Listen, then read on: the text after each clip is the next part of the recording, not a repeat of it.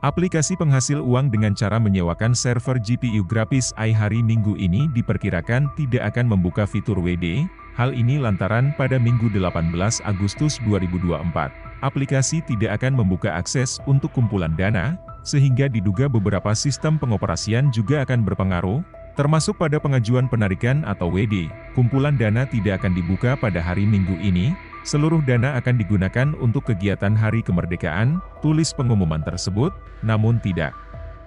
Dijelaskan apakah kegiatan Hari Kemerdekaan yang dimaksudkan dalam pengumuman tersebut berhubungan dengan kegiatan di aplikasi, seperti kegiatan event bonus atau event promo lain, namun dugaan aplikasi ini bakal scam dalam waktu dekat masih belum terbukti.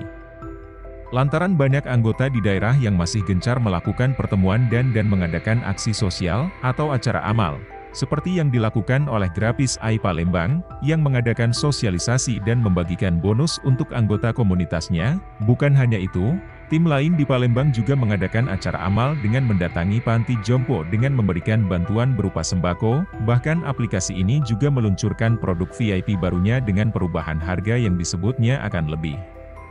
menguntungkan khususnya untuk anggota VIP 2 ke atas, namun promo gaji mingguan yang menjadi andalannya justru disebut sebagai salah satu tanda-tanda bahwa aplikasi ini sedang mengalami kesulitan, karena kurangnya deposit yang masuk dari para anggotanya.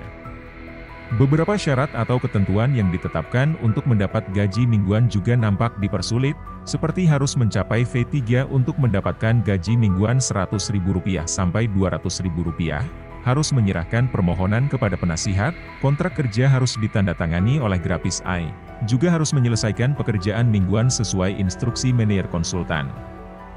Lalu apakah aplikasi grafis AI benar akan scam pada hari kemerdekaan? Kita lihat dan buktikan bersama nanti.